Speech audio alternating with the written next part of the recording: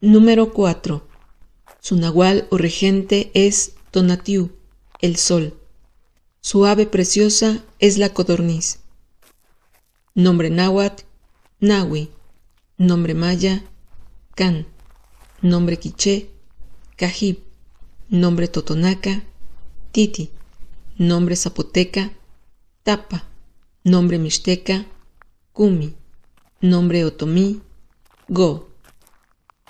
El 4 representa el potencial, la fecundación, el crecimiento y la realización.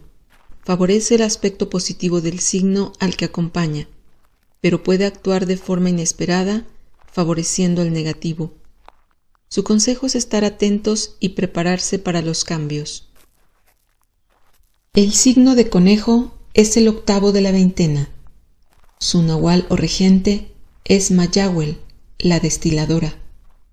Se orienta al sur. Su elemento es la tierra y su color el amarillo. Su horario de máximo efecto es el mediodía. Su componente humano, el cuerpo físico. Nombre náhuatl, Tochtli. Nombre maya, Lamat. Nombre quiché, Canil. Nombre totonaca, Scau. Nombre zapoteca, Lapa. Nombre mixteca, Sayu. Nombre otomí, Hua. El signo de conejo representa los sentidos y la capacidad de percibir, la sexualidad, las empresas, ideas y soluciones, la facilidad de palabras, la previsión, la acumulación de recursos y la riqueza que deriva de ella.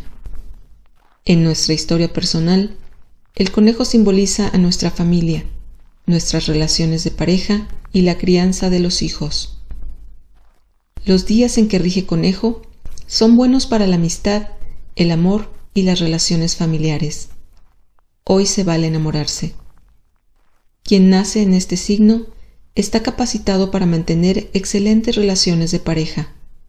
Tiene un espíritu guerrero, le gusta conquistar nuevos espacios, es rápido para adaptarse, evaluar y tomar decisiones, y tiene un carácter trabajador, previsor y ahorrador.